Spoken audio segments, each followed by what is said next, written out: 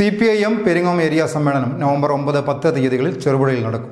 സമ്മേളനത്തിന് നടത്തിപ്പിനുള്ള സംഘാടക സമിതി രൂപീകരിച്ചു. C P I M Peringome area സമ്മേളനം നവംബർ ഒൻപത് പത്ത് തീയതികളിൽ ചെറുപുഴയിൽ നടക്കും.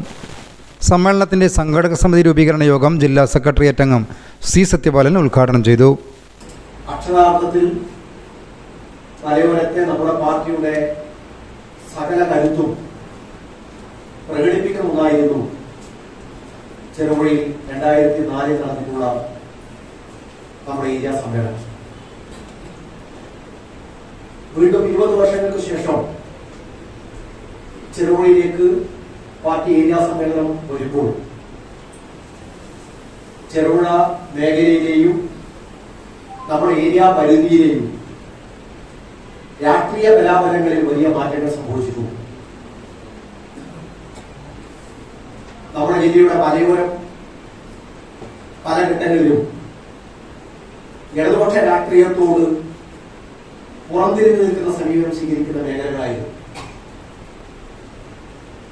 എന്നാൽ ഇന്ന് ഈ ജില്ലയുടെ മലയോരത്തിന്റെ ചിത്രമതല്ല.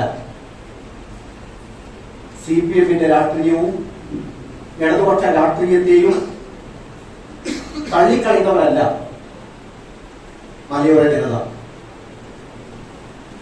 അവിടെ സുദീർഘമായ ജീവിതാനുഭവങ്ങളിലൂടെ സി പി ഐ എം നടത്തുന്ന പ്രവർത്തനങ്ങൾ അവ ഉയർത്തിപ്പിടിക്കുന്ന രാഷ്ട്രീയ നിലപാടുകൾ ഇതെല്ലാം അനുഭവങ്ങളിലൂടെ തിരിച്ചറിഞ്ഞ ജനത.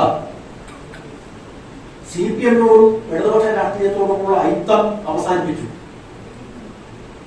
കെ വി ഗോവിന്ദൻ അധ്യക്ഷത വഹിച്ചു. നേതാക്കളായ P Sasidharan R K Padmanabhan P V Valsala K P Gopalan P V Thampan M P Damodaran K D Augustine തുടങ്ങിയവർ പ്രസംഗിച്ചു.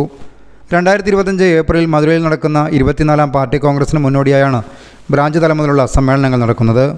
News bureau Cherupuzha. നിങ്ങൾ സ്വർണാഭരണങ്ങൾ വാങ്ങുമ്പോൾ വഞ്ചിതരാകാതിരിക്കാൻ ജാഗ്രത പാലിക്കുക. രണ്ടായിരത്തി ഇരുപത്തിമൂന്ന് ഏപ്രിൽ ഒന്ന് മുതൽ സ്വർണ പരിശുദ്ധി ഉറപ്പുവരുത്തുന്നതിന് കേന്ദ്ര ഗവൺമെന്റ് ആഭരണങ്ങളിൽ എച്ച് യു ഐ ഡി നിർബന്ധമാക്കിയിരിക്കുന്നു.